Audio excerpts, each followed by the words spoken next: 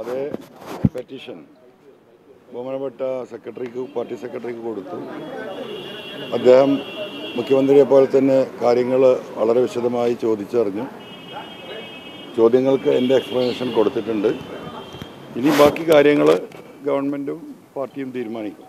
അപ്പൊ അങ്ങ് ഏഹ്, എലിയായി പോയി അങ്ങയുടെ പോരാട്ടം നിലച്ചു എന്നൊക്കെയുള്ള തരത്തിൽ വാർത്തകളും വ്യാഖ്യാനങ്ങളും വരുന്നുണ്ട്. എന്താണ് പ്രതികരിക്കാനുള്ളത്?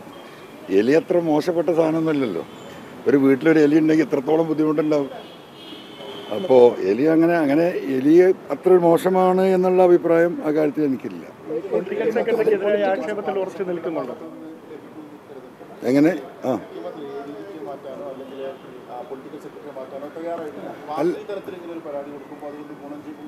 അല്ല. അതിൽ എനിക്കതിൽ പറയാനുള്ളത്. ഇപ്പോൾ വലിയ വാർത്ത ഇപ്പോൾ രണ്ട് ദിവസമായിട്ട് കീഴടങ്ങി പൊങ്ങി മുങ്ങി എന്നൊക്കെ ഉണ്ട്. അത് നടക്കട്ടെ. ഇപ്പോൾ എലിയായി പോയി. അതിലൊന്നും എനിക്ക് കുഴപ്പമില്ല. അപ്പോൾ എലിയായാലും പൂച്ചയായാലും ഞാൻ ഞാൻ ഉയർത്തിയ എന്റെ വിഷയങ്ങളുമായിട്ട് ഈ പൊതുസമൂഹത്തിന് മുന്നിലുണ്ടാകും. അതിൽ ഒരു ഒരു തർക്കവും നിങ്ങൾ കരുതണ്ട. പിന്നെ ഇപ്പം നിങ്ങളുടെ ചോദ്യം ഇന്നലെയും ചോദിച്ചു എ ഡി ജി പിയെ മാറ്റി നിർത്തണോ? ഞാൻ അപ്പോഴും പറഞ്ഞ ഉത്തരം എന്താ? അത് ഗവൺമെന്റും മുഖ്യമന്ത്രിയുമാണ് അത് തീരുമാനിക്കേണ്ടത്. ഇപ്പോൾ പാർട്ടിക്കും ആ കാര്യങ്ങൾ കൊടുത്തിട്ടുണ്ട്.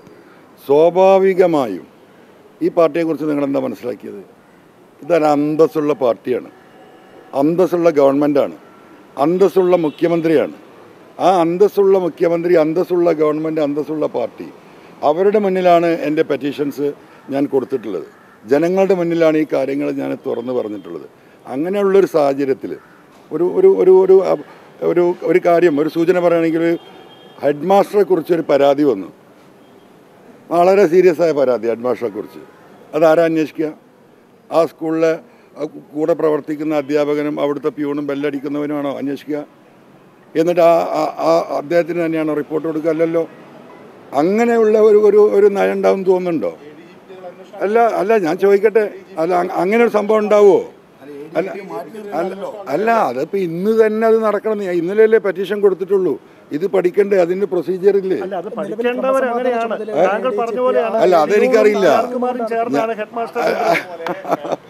അത് നിങ്ങൾക്കുള്ള തിരക്ക് എനിക്ക് ആ കാര്യത്തിലില്ല.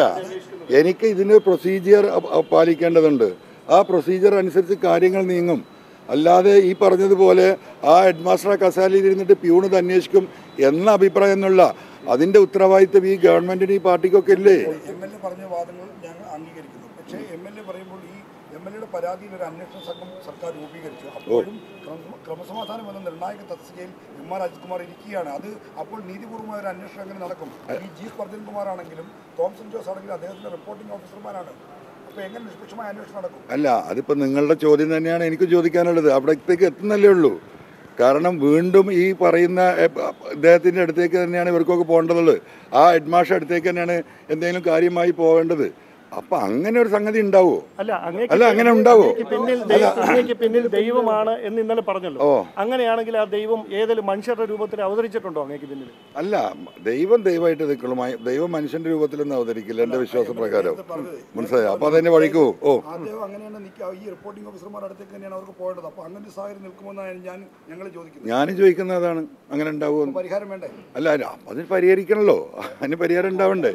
അല്ല അത് പഠിക്കട്ടെ എന്ന്. അങ്ങനെ ഉണ്ടാവോ? ഇപ്പൊ അങ്ങ് അങ്ങ് മുഖ്യമന്ത്രിയുടെ പൊളിറ്റിക്കൽ സെക്രട്ടറിയുമായി ബന്ധപ്പെട്ട് ചില ആക്ഷേപങ്ങൾ ഉയർത്തി. എങ്ങനെ? അങ്ങ് മുഖ്യമന്ത്രിയുടെ പൊളിറ്റിക്കലുമായി സെക്രട്ടറിയുമായി ബന്ധപ്പെട്ട് ചില ചില വിമർശനങ്ങൾ പറഞ്ഞു. അതായത് ഈ അജിത് കുമാറിനെയും അല്ലെങ്കിൽ ശ്രീദാസിനെയും ഒക്കെ ഈ നിയന്ത്രിക്കുന്നതിലുള്ള പോരായ്മ. ഇവിടെ ഇത് പറയേണ്ട ഏറ്റവും അനുയോജ്യമായ സ്ഥലമാണ് ഇപ്പോൾ അങ്ങ് കണ്ടുവന്നിറങ്ങിയ സ്ഥലം. കാര്യം അതൊരു രാഷ്ട്രീയ നിയമനമാണ് പൊളിറ്റിക്കൽ സെക്രട്ടറി അപ്പോൾ ഇവിടെ നിന്ന് എന്തെങ്കിലും ഉറപ്പ് ലഭിച്ചിട്ടുണ്ടോ? അല്ല ഞാൻ കാര്യങ്ങൾ പറഞ്ഞിട്ട് എനിക്കൊരു ഉറപ്പ് എവിടെ നിന്നും ലഭിച്ചിട്ടില്ല. നീതിപൂർവമായ ഒരു അന്വേഷണം ഈ വിഷയത്തിൽ നടക്കുമെന്നും കുറ്റവാളികൾ ശിക്ഷിക്കപ്പെടുമെന്നും ആ കുറ്റം ചെയ്തവർ അതിന് അനുസൃതമായ ശിക്ഷയ്ക്ക് വിധേയമാകുമെന്ന് തന്നെയാണ് ഞാൻ ഇപ്പോഴും വിശ്വസിക്കുന്നത്.